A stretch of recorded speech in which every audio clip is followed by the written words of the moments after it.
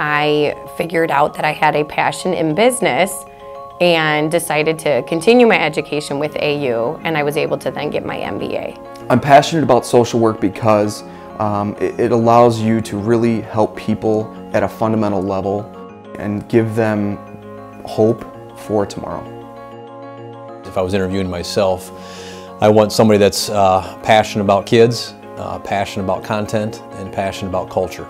I think when you're, you're passionate about all three of those things, it's a great place for, of course, kids to learn.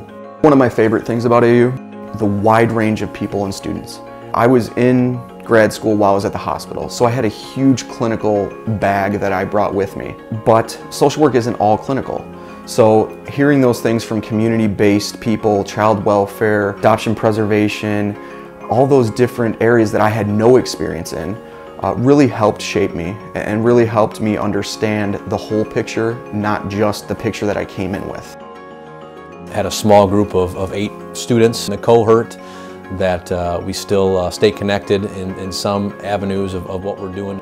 Working with the different professors gave me another insight on how people teach, but also what they went through in their jobs and in their leadership roles. And so I think is going to help me.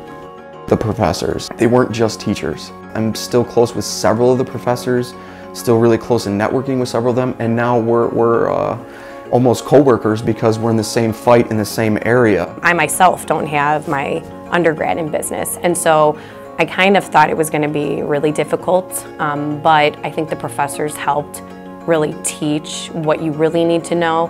I think that there was a lot of nerves and anxiety about, holy cow, this is grad school. You absolutely can do it. It, it the, the support is there, the class size is there, it's not overwhelming. Stay in front of it, stay organized, and, and you're going to be successful.